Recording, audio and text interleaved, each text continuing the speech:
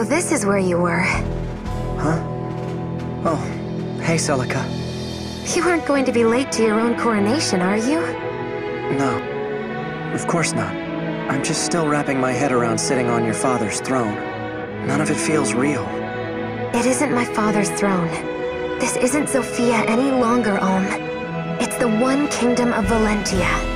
And you're going to be its first ruler. Celica. Please don't misunderstand. I don't bear him any grudge.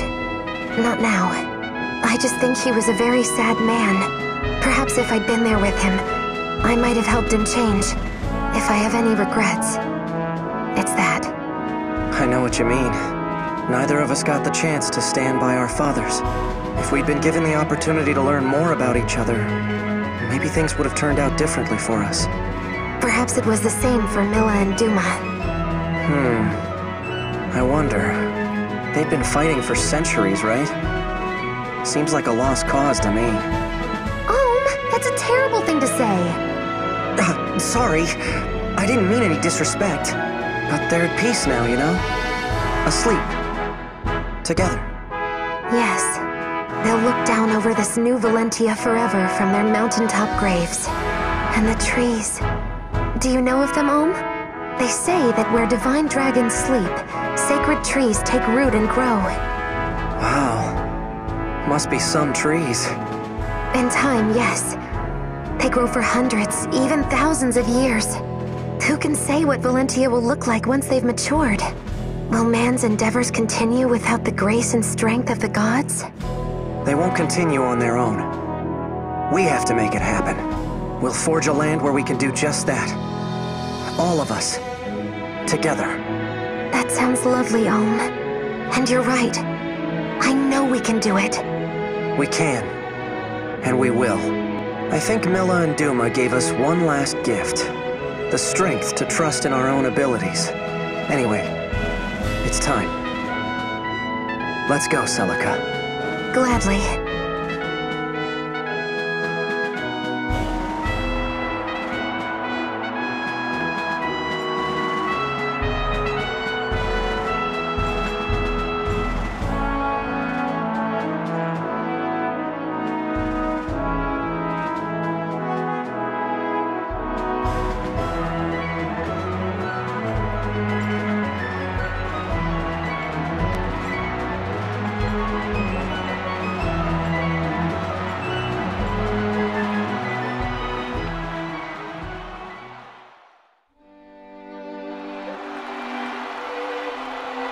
And so the long war drew to a close.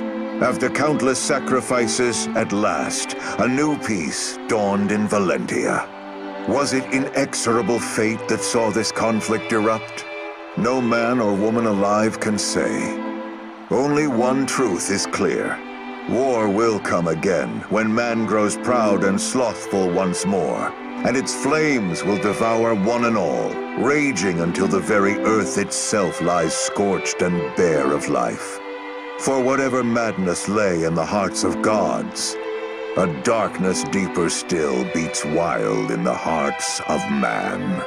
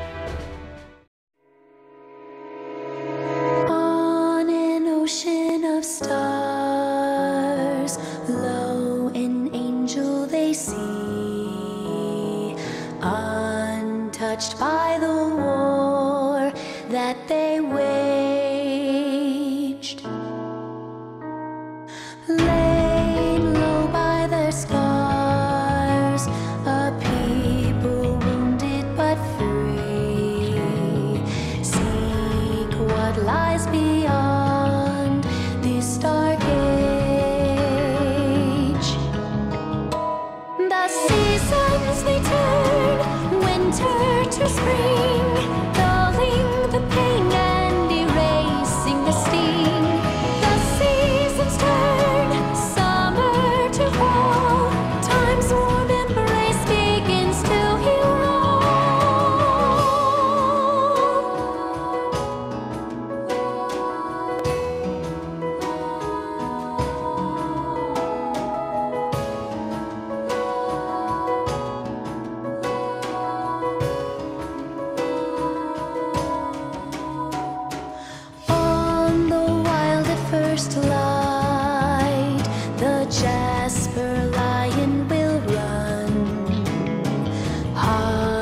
Hearken